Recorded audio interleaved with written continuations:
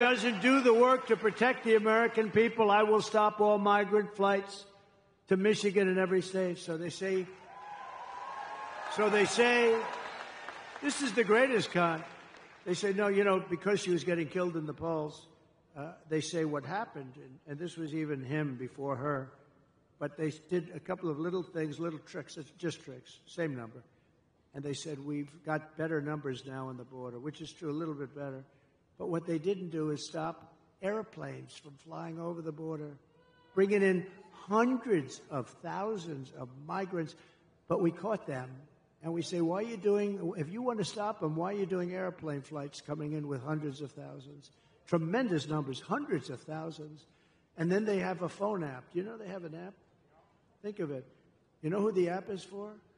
The guys that bring the migrants into our country have a phone app so they know where to dump them, so they know where to bring them. The cartel leaders, the leaders of the cartels who are among the richest people, I believe, in the world, and they deal also in women. They trek women through the borders and into our country. That's turned out to be a big business, to a lesser extent, children. Not too many men. Not too many. They don't want the men. They want the women and they want the children. And uh, they're traffickers, they're called. They're really bad people. They're really bad. Sounds like an ancient, it sounds like an ancient thing, right? An ancient crime, but it's not. What made it so big today, they do the same kind of money they make with drugs. Some people say it's more. What they do today is like unbelievable and horrible. But you know why it's so big today? Bigger than it ever was uh, 2,000 years ago?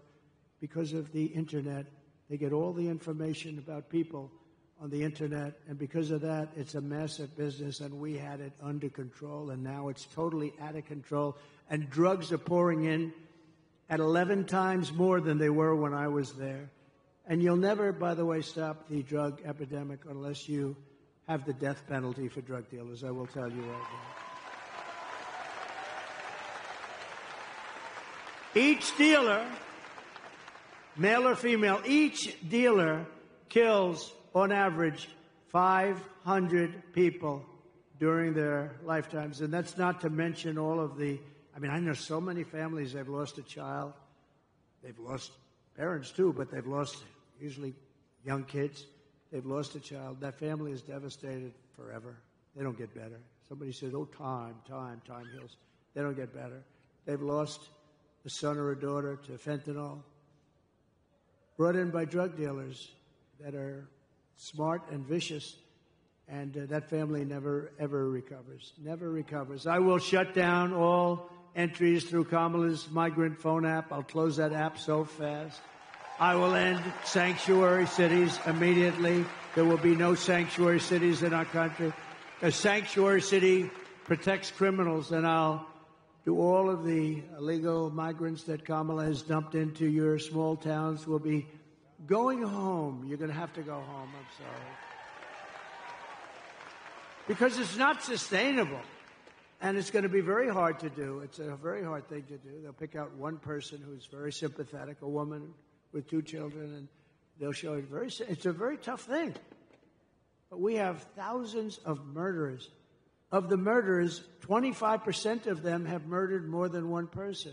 10% of, of them have murdered more than five people. These people are roaming our country. They could go into a restaurant, they can do whatever they want, and they will kill you because they are wired that way. They were wired that way. We're going to get them the hell out of our country.